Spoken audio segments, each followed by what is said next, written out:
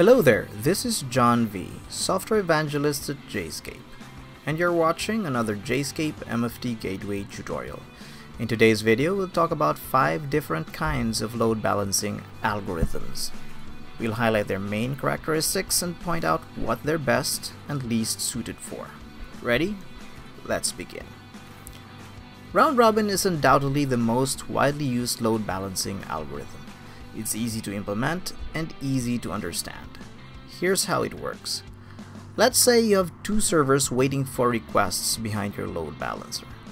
Once the first request arrives, the load balancer will forward that request to the first server. Then when the second request arrives, presumably from a different client, that request will then be forwarded to the second server.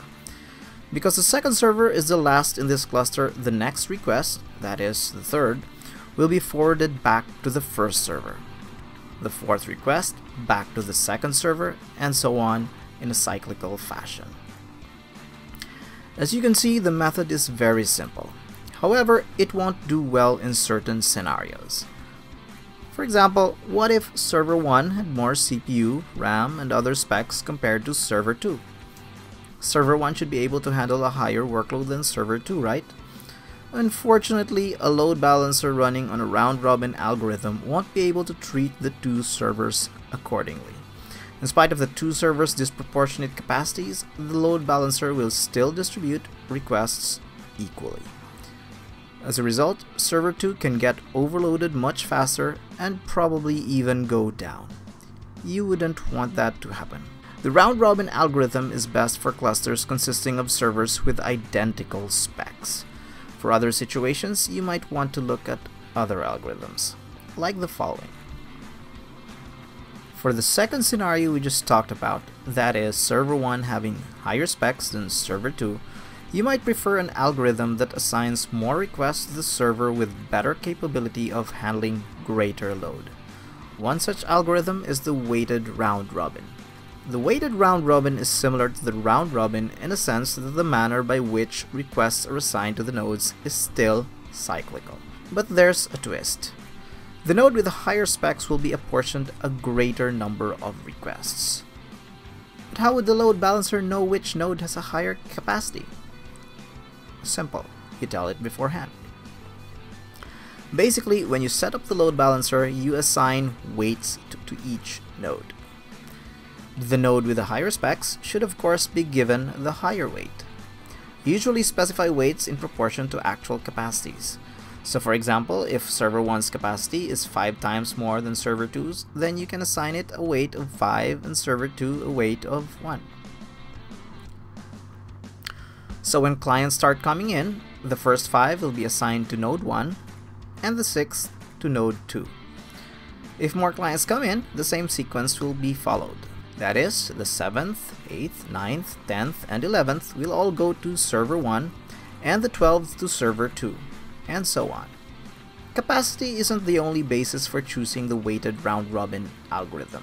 Sometimes you'll want to use it if, say, you want one server to get a substantially lower number of connections than an equally capable server for the reason that the first server is running business critical applications and you don't want it to be easily overloaded. There can be instances when, even if two servers in a cluster have exactly the same specs, one server can still get overloaded considerably faster than the other. One possible reason would be because clients connecting to server 2 stay connected much longer than those connecting to server 1.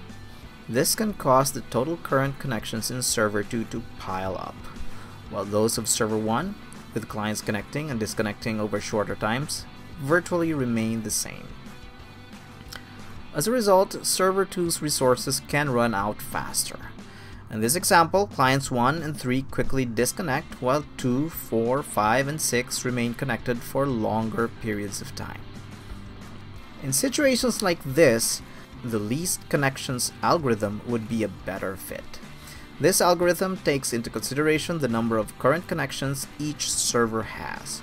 When a client attempts to connect, the load balancer will try to determine which server has the least number of connections and then assign the new connection to that server. So if say Continuing our last example, client 6 attempts to connect after 1 and 3 have already disconnected, but 2 and 4 are still connected, the load balancer will assign client 6 to server 1 instead of server 2. The weighted least connections algorithm does to least connections what weighted round robin does to round robin. That is, it introduces a weight component based on the respective capacities of each server. Just like in the weighted round robin, you'll have to specify each server's weight beforehand. A load balancer that implements the weighted least connections algorithm now takes into consideration two things.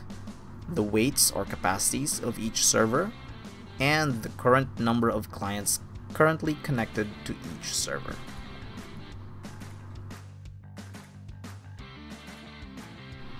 As its name implies, this algorithm matches clients and servers by random.